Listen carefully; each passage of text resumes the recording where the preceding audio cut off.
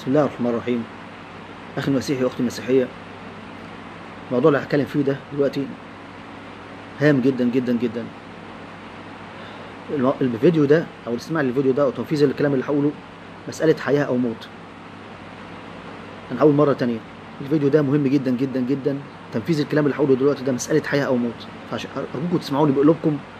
وما تسمعونيش بال- بال- بال- بالأذن. اسمعوني بقلوبكم. وأنا متأكد إن أنتوا لو سمعتوني بالأذنيكم هتستجيبوا هتنفذوا الكلام اللي أنا بقوله. والكلام اللي بقوله ده هيخترق قلوبكم لأن معظم المسيحيين مش متكبرين. ربنا سبحانه وتعالى هو اللي قال لنا كده. قال لنا تجدن أشد الناس عداوة للذين آمنوا اليهود والذين أشركوا. ولتجدن أقربهم مودة للذين آمنوا الذين قالوا إن نصارى. ذلك بأن منهم قسيسين ورهبانا وأنهم لا يستكبرون. وأنهم لا يستكبرون.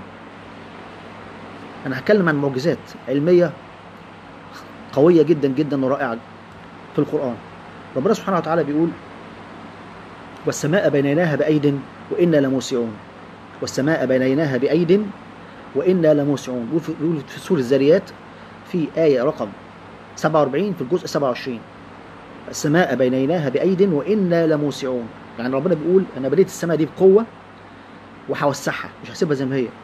العلم الحديث أثبت إن السماء بتتمدد وبتتوسع بسرعة 30 ألف سنة ضوئية في الثانية. لأن في 275 مليون نجم بيتولدوا كل ثانية فلازم السماء توسع وإلا الكون ينفجر. حقيقة علمية رائعة القرآن قالها من 1400 سنة. الرسول صلى الله عليه وسلم كان راجل أمي لا يقرأ ولا يكتب عارف منين؟ إن السماء بتوسع. معجزة علمية تانية رائعة. الرسول صلى الله عليه وسلم قال في الحديث إذا سقط الذباب في إناء أحدكم فليغمسها ثم لينزعها فان في أحد أجنحتها داء وفي الآخر دواء.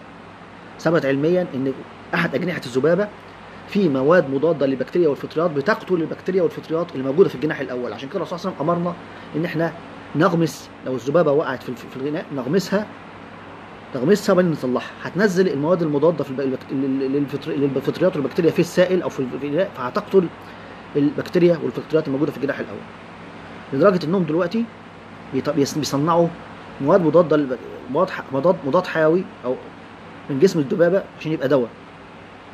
في أبحاث علمية أثبتت هذا الكلام في أمريكا وفي أستراليا في دكتورة اسمها جوان كلارك أثبتت هذا الكلام وهم دلوقتي بيصنعوا مضاد حيوي أو مواد حيوي مضاد حيوي من جسم الذبابه دليل علمي قاطع ورائع على نبوة الرسول صلى الله عليه وسلم. الرسول صلى الله عليه وسلم أمي كان لا يقرأ ولا يكتب. الكلام ده منين؟ من 1400 سنة. الرسول قال كمان في الحديث في دي المعجزة الثالثة. إذا إن الله خلق ابن آدم على 360 مفصل في كل مفصل كل يوم صدقة. يا رسول الله من يطيق ذلك؟ قال التكبير صدقة والتهليل صدقة والتحميد صدقة والأمر بالمعروف صدقة والنهي عن المنكر صدقة. وصلاة ركعتين في أول النهار تجزئ كل ذلك. شاهد هنا الرسول قال أن كل واحد فينا بيتولد ب 360 مفصل في جسمه. العلم الحديث؟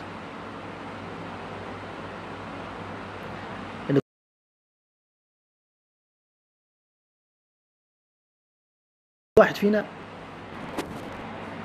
شاهد هنا إن الرسول صلى الله عليه وسلم قال إن كل واحد فينا بيتولد ب 360 مفصل.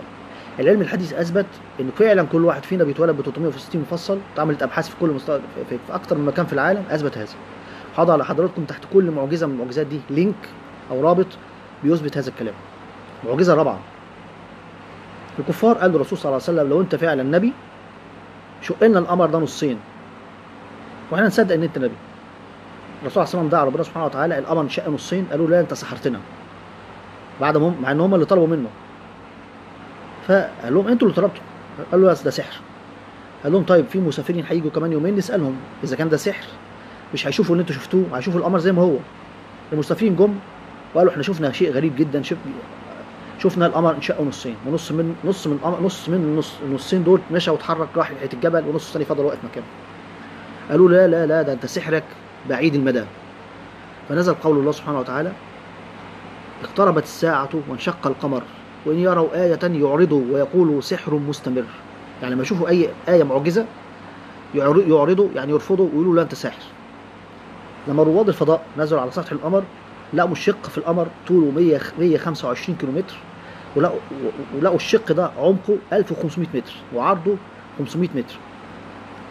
وعملوا أبحاث على الشق ده قالوا إنه مستحيل مستحيل يكون جه نتيجه زلزال أو بركان أو أي ش... أو أي ظاهرة من الظواهر الطبيعية. ولقوا لحام لحام في في في, في, في على السطح ال- في الشق ده يثبت إن القمر انشق واتلحم تاني. الحام عامل زي لحام الكهرباء. وواحد وعالم في وكالة ناسا الامريكيه أقر وأثبت إن القمر انكسر بعدين اتلحم تاني. وهضع حضراتكم الفيديو يث- يثبت إعجاز هذه المعجزة تحت تحت الفيديو ده ال link بتاعه. الأربع معجزات دول نقطة في بحر. نقطة في بحر من المعجزات الموجودة في القرآن والسنة. ربنا بيقول كمان المعجزة خمسه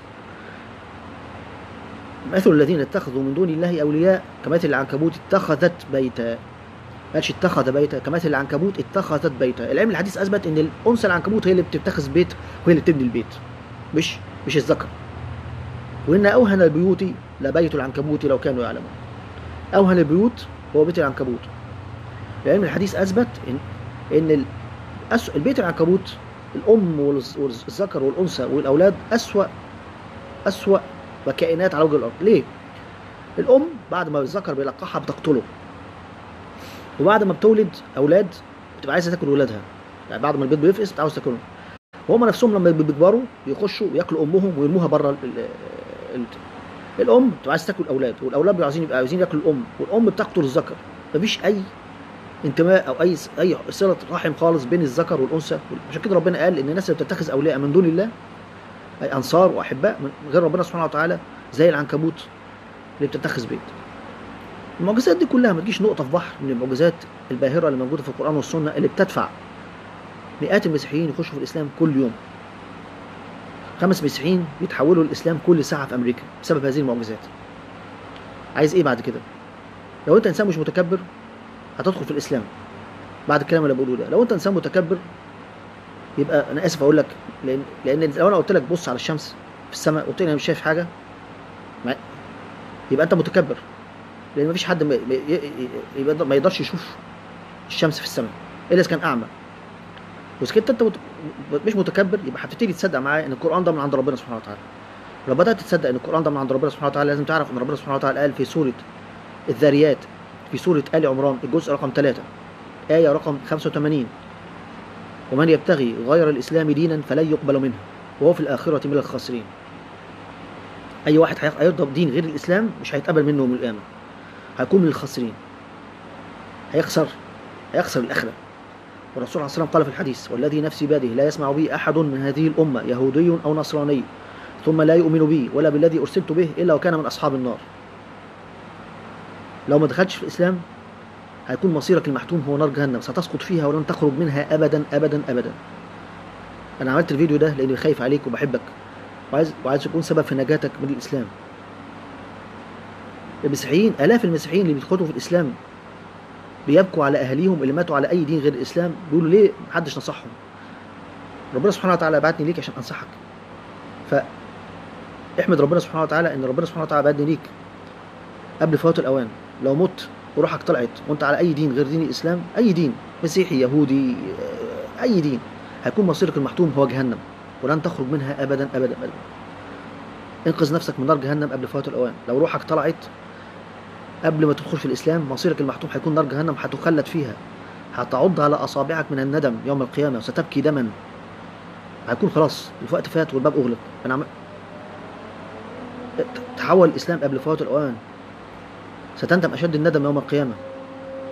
اقرأ المعجزات اللي أنا كاتبها تحت الفيديو ده وتحقق منها. وت- وتحول الإسلام قبل فوات الاوان